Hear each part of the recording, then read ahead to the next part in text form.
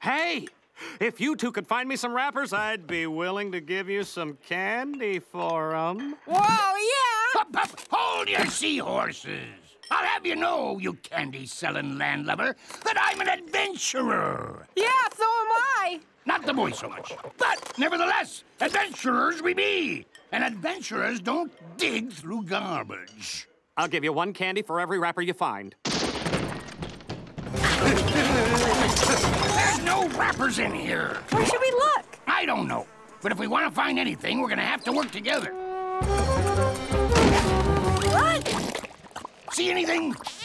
Nope, just garbage.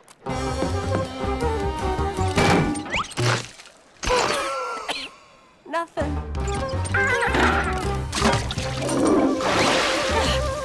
Why are we looking in here? We're not. You need a bath. Going to be harder than I thought. Yeah, and I think we've already checked all the places I can fit into. Yeah. Or have we?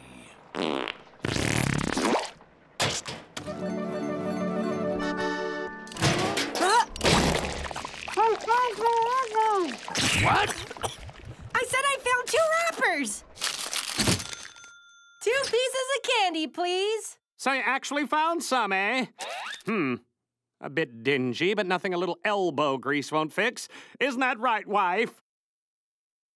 All right, here you go, fellas. Two pieces of candy.